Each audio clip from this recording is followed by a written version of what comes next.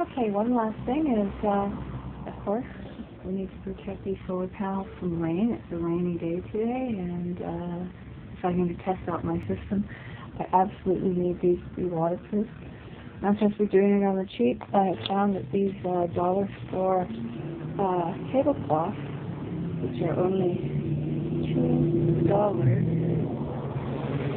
uh, are made of 100% vinyl and they are very, very thick.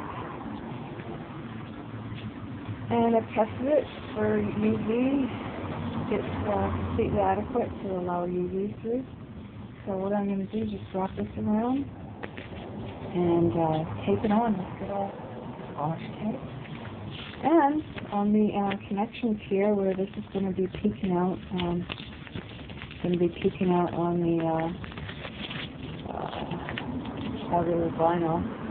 I'm going to be putting a ton of uh, little uh, silicone around that. And uh, I believe this is going to be adequate. And uh, let's give it a try and find out. Anyway, that's off right now. Of course, I put on these uh, uh, special connections.